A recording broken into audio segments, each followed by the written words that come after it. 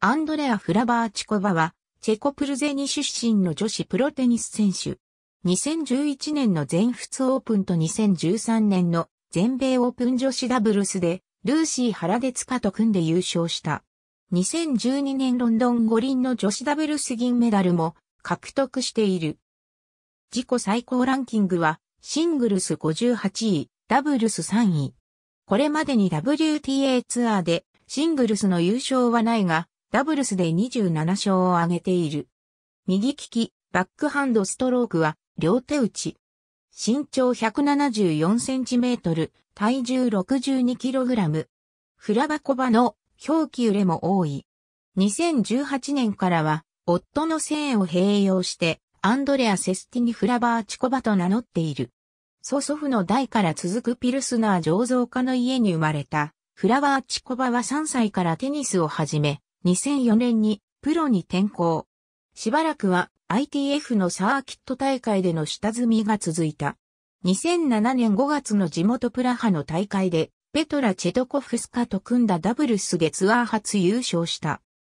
2011年全米オープンにて2011年全仏オープン女子ダブルスでルーシー・ハラデツカと組み、ノーシードから決勝に進出し、サニア・ミルザエレーナ・ベスニナ組を6-4、6-3で破り4大大会ダブルスタイトルを獲得した。フラワーチコバはこれまで4大大会でベスト8以上に進出したもなかった。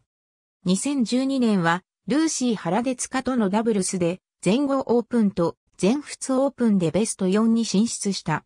ウィンブルドンでは4大大会2度目の決勝に進出した。決勝ではセリーナ・ウィリアムズビーナス・ウィリアムズ組257 4-6で敗れ準優勝となった。ロンドン五輪でオリンピックに初出場。女子ダブルス準決勝で第1シードのリサ・レーモンドリーゼル・フーバー組を6-1、7-6で破り、決勝に進出した。決勝では、ウィリアムズ姉妹組に4-6、4-6で敗れ金メダルを獲得している。全米オープンでも決勝に進出し、サラ・エラニロベルタ・ビンチ組に4-6、2-6で敗れ、ウィンブルドンに続き準優勝となった。最終戦の WTA ツアー選手権にも出場し、ダブルス決勝でマリア・キリレンコナディア・ペトロワ組に1から6、4-6で敗れ準優勝となった。2013年全米オープンでは、ベラルーシのマックス・ミルヌイと組んだ混合ダブルスで決勝に進出し、アビゲイル・スピアーズサンティアゴ・ゴンサレス組を7から6、6-3で破って優勝し初の混合ダブルスタイトルを獲得した。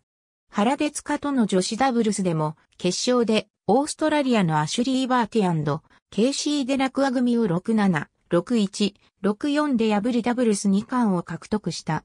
シングルスでは2012年全米オープンの3回戦で第14シードのマリア・キリレンコを5-7、6-4、6-4で破り4回戦に進出した。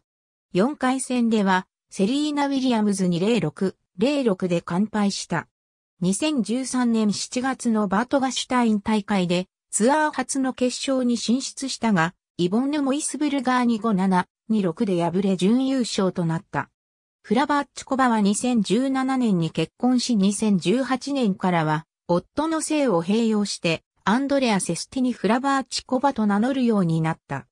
W イコール優勝、F イコール準優勝、SF イコールベスト4、QF イコールベスト8、R イコール回戦敗退、RR イコールラウン敗退、Q イコール予選回戦敗退、LQ イコール予選敗退、A イコール大会不参加、P イコール開催延期 WG イコールデビス、Z イコールデビス地域ゾーン、PO イコールデビス、G イコールオリンピック金メダル、S イコールオリンピック銀メダル、SF、B イコールオリンピック銅メダル、NMS イコールマスターズシリーズから降格、NH イコール開催なし。ありがとうございます。